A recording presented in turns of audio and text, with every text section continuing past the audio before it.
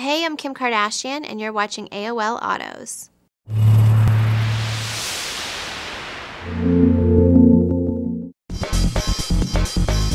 My first car was a BMW 328i. It was a 1996 or 97. Um, I got my car, I turned 16 in 96, but it was in October and new cars come out in October. So it definitely was a 97 and it was white. I loved the, the white BMW with the tan leather inside. It was just so me for my first car. Um, I didn't like. What didn't I like about it? There's nothing that I didn't like. I loved everything about it. I crashed the car when I was I got my first pair of glasses and I dropped them and I went to pick them up and I was in bumper to bumper traffic and I just bumped the person in front of me and my dad made me sign a contract before I got the car because he was an attorney that I was responsible for anything. I had to wash it once a week. I had to, if there was ever an accident, I have to pay for it.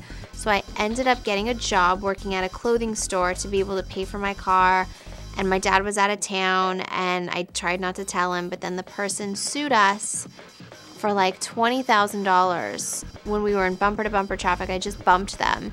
But um, the guy was like quoted saying something about the OJ trial because it was during that time and the last name, and I was an attorney, and my dad must have a lot of money, so he was going to sue me, and I ended up having to pay him off.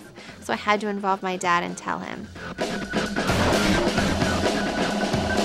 Right now, I have two cars. I have a Range Rover 2010. I was the first person in the United States to get it. They gave it to me two months early. Um, so that was exciting. And then I got, I have a Bentley Continental convertible, both black. I, I've only done white cars before, but I decided to go black because I just wanted to be a little bit more low key and classic. But I guess the rhinestone blinged out signs don't help.